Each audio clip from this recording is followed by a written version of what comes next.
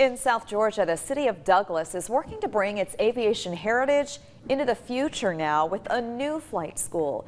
A committee proposing the Douglas Municipal Gene Chambers Airport just as it was during World War II. Our Amber Spradley has that story.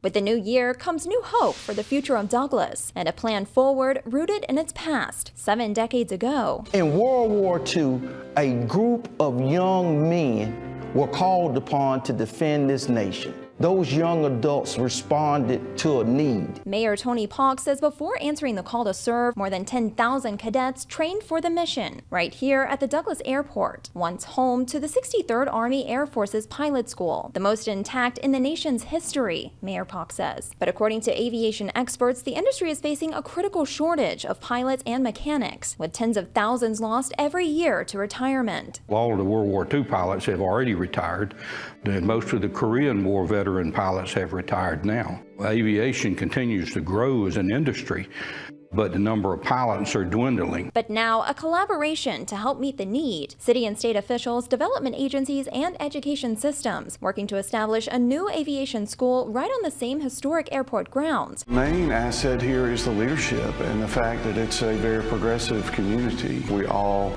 row together to move this community forward. This gives South Georgia State College an opportunity to engage with the Douglas community and to build a program that is sustainable and has roots of being impactful in the community. The new committee committed to honoring the city's past and impacting its future. In Douglas, Amber Spradley, WCTV Eyewitness News.